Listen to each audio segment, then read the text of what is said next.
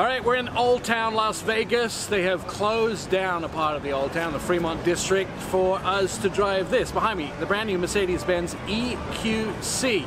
There's been an EQA and an EQB. This is going to be the first all-electric Mercedes SUV on the market, and you can look for it at the end of 2020, maybe.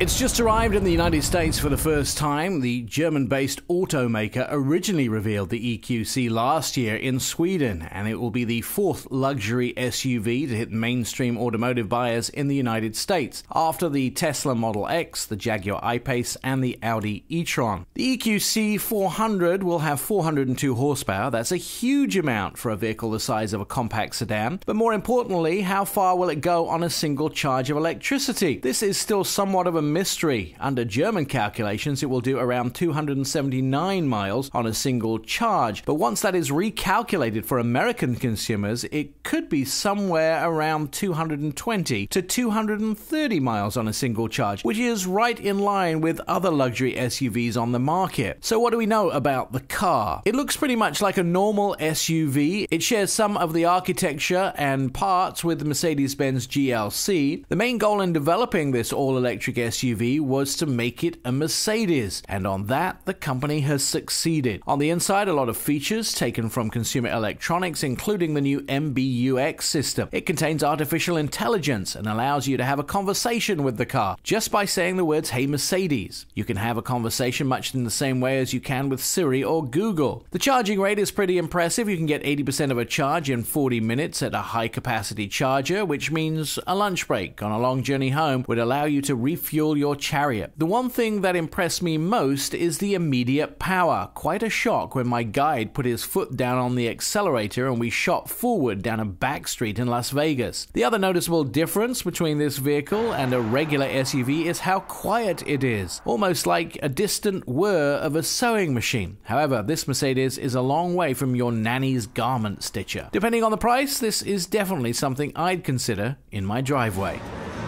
More information on the car and pricing when it becomes available. I'm Nik Miles.